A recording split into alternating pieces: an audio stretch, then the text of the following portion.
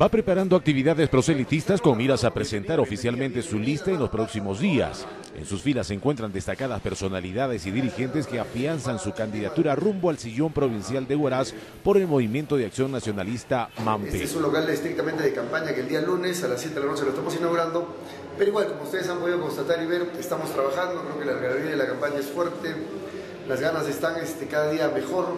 vamos posicionándonos como, como imagen, como nombre para llegar a las contiendas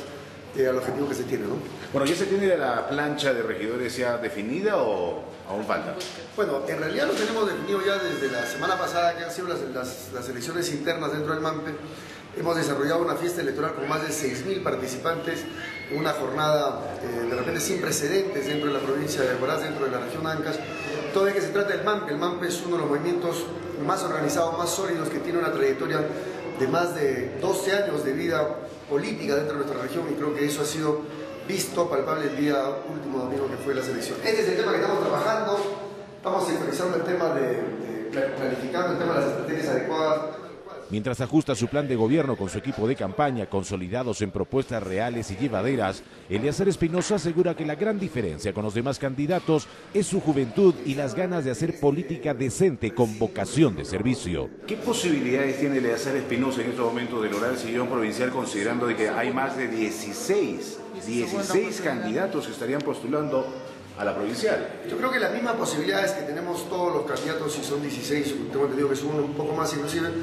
yo creo que eh, todos tienen las mismas posibilidades. El asunto es quién le pone esfuerzo, quién le pone dinamismo, trabajo, empeño, desarrolla las estrategias adecuadas para poder llegar, sobre todo que tenga conocimiento del tema de gestión pública, que es a donde estamos postulando, y eso de repente nos va a diferenciar de los diferentes candidatos que se presentan esta contienda, a quien saludamos nosotros muy amablemente a cada uno de ellos, pero la diferencia, uno va a ser el conocimiento, dos, el equipo técnico que nosotros llevamos, y tres, es el símbolo del MAMPE, una organización sólida, partidaria que ya tiene dos años, de, perdón, dos periodos consecutivos de gestión, que tiene gran cantidad de aceptación y por las obras de impacto que ha hecho dentro de la provincia creo que hace mucho más fácil el camino para llegar el 5 de octubre como eh, triunfantes victoriosos de esta contienda. ¿Qué estrategia va a utilizar? Tú sabiendo que no es la primera vez, usted ya no es novato. La mejor estrategia, creo, como en toda actividad empresarial, política que se puede desarrollar, es la sinceridad, la confianza, el conocimiento, la entrega total, el apasionamiento. Yo amo la política, me encanta la política decente, la política por su propio nombre, esa estructura, ese concepto que es vocación de servicio, la tenemos, la tengo, eso creo hace mucho más fácil el camino. Eh, las oportunidades la tienen todos, no soy novato efectivamente en la política y hemos madurado, del 2006 a la fecha creo que hemos madurado políticamente, hemos madurado como persona, como familia, nos hemos sabido consolidar dentro del ámbito empresarial, familiar, y ahora queremos hacerlo en el tema político.